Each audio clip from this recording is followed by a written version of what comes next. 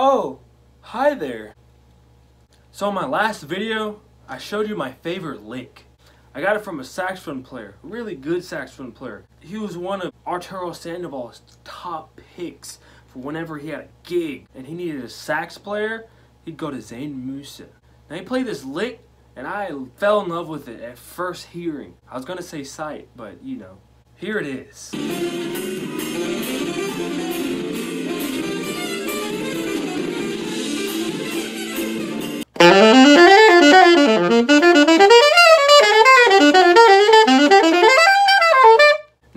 Video before this, I took out that first part and just played this part pretty fast.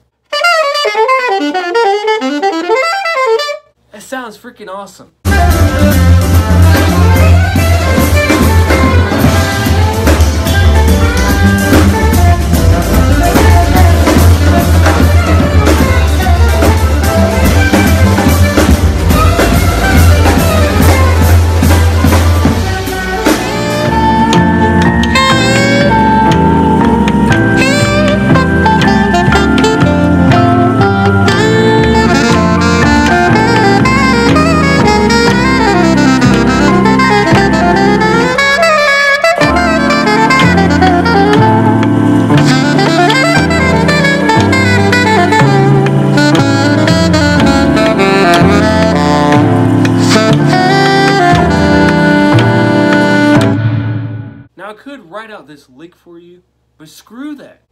Time you you want to play the lick, you gotta pull out your your, your little sheet music. I'm like,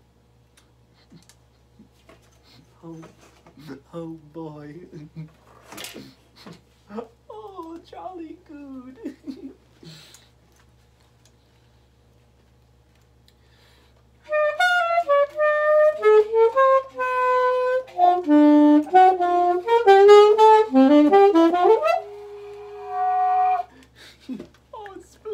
Wow. Screw that. No. It's going to be from man to man or woman. So, let me explain this lick by ear or by mouth. Your ear. So, it takes place on a concert D minor chord. But specifically, a Dorian sound.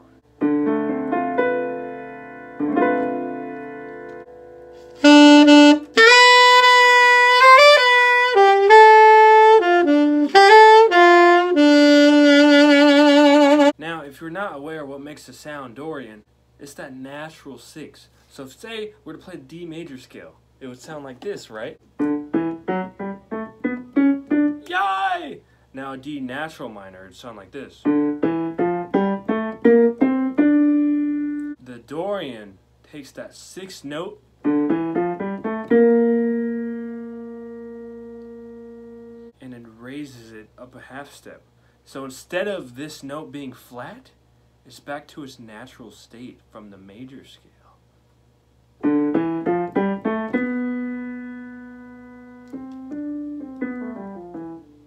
Or it's just D to D in the key of C major. So what usually helps me hear a chord is if I play the 1, 3, 5, 7 and then the extensions. So check me out.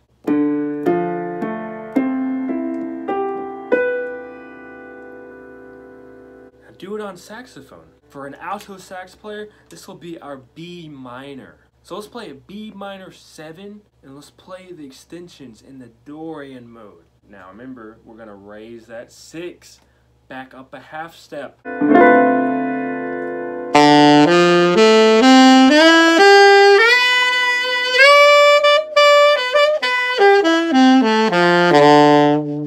I like to play it up an octave too.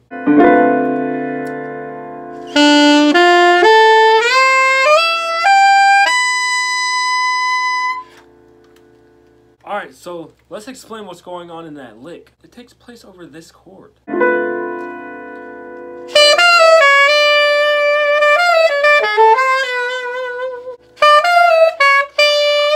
So that part, the first part, we're playing a B and we go up a minor third. Then we go down to the ninth. And then we play the leading tone under the B, which is the A sharp. And then we play the B again.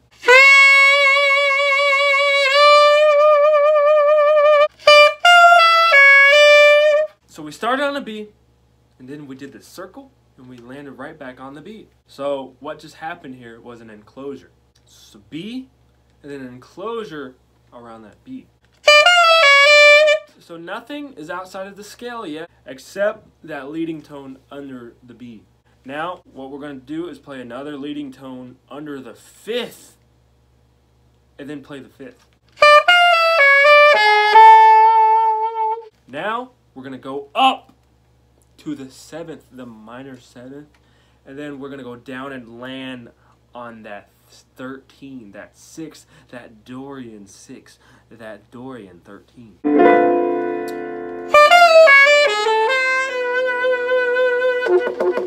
Pretty freaking awesome. Now right here, that right there is literally an E, R-E, concert G, arpeggio starting on the third of that triad.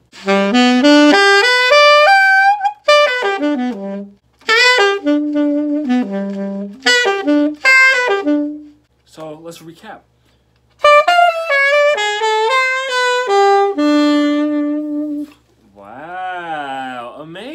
Amazing, wow, oh my god! This next note is a little funky.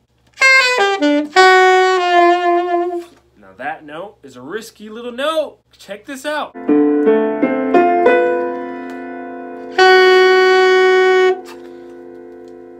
See, it doesn't sound pleasing to the ear, but why it works is that he's using this as an approach tone to the note after it, because the note after it lands on a strong beat. Watch this, I'm gonna keep pulse with my body, and you're gonna see that I'm gonna land away from the and land right on the strong note, which is the minor third of this chord. This is a great note to land on on a strong beat. Oh my god. Ready, go. That, you see? Uh, I landed on that minor third right there. So if we play that with the harmony,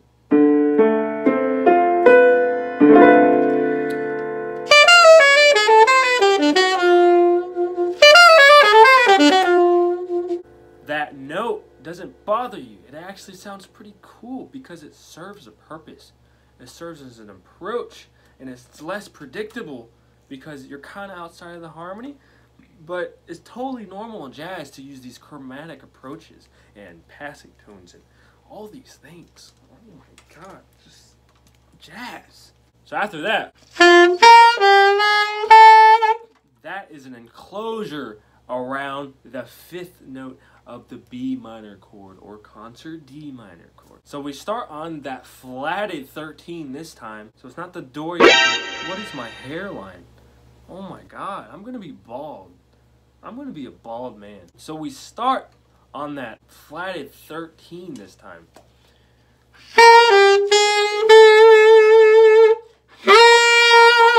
But it's for the sake of the enclosure, alright? This is not the main point of this little section. Is not that flat 13, so don't stress about it too much, okay? Don't. What we're worried about is that fifth. That's the point of this little enclosure. That's the person getting all the attention.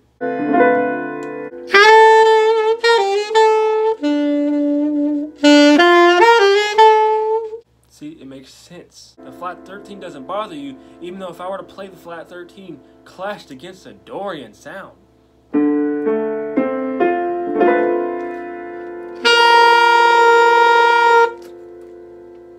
That bothered you, but that didn't bother you, but I played that flat 13. Why didn't it bother you that time? Because your focal point was somewhere else musically. So, so like I said, we start on that flat 13 and then we go down to the 11. And then chromatic our way up to that fifth. It is a leading tone to the fifth.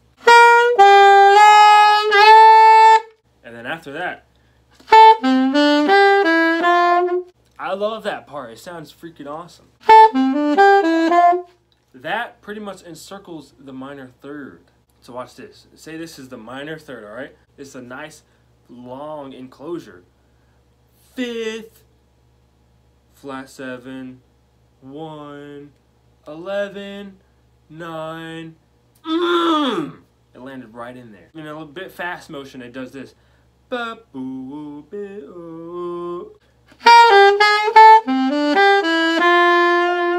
Once we land on that, we just arpeggiate up our way till we land on that 11.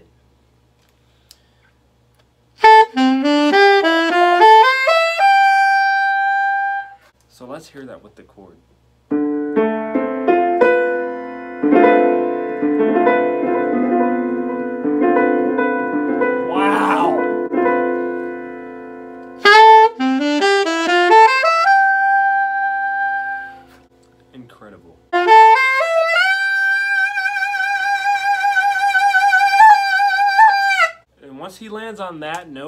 Just goes back down the arpeggio. And once he lands on the fifth, he goes to the one. Five. One.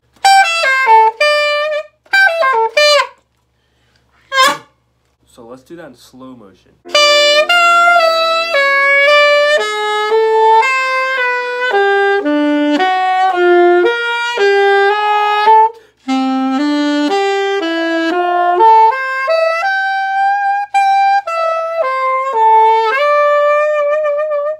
That was Zane Musa's version.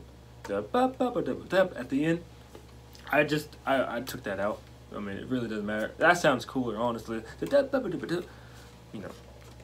So I, I'd recommend you do that.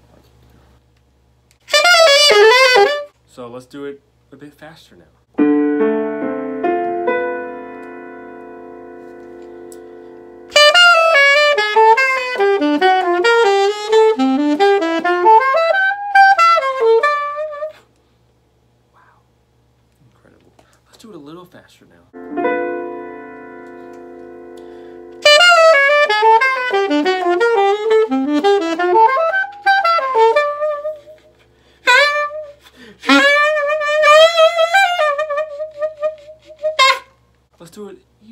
Faster now. Wow.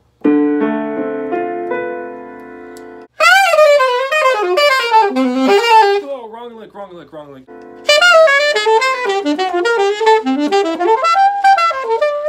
Now, when you play really fast, it can be hard to put the articulation in there. But I try to get it in there just because it just feels good and it sounds cool. So if you go so fast and your articulation's just not holding up quite yet, it sounds like this. Don't feel ashamed, okay? Because, you know, mine's not that fast either compared to like those super pros.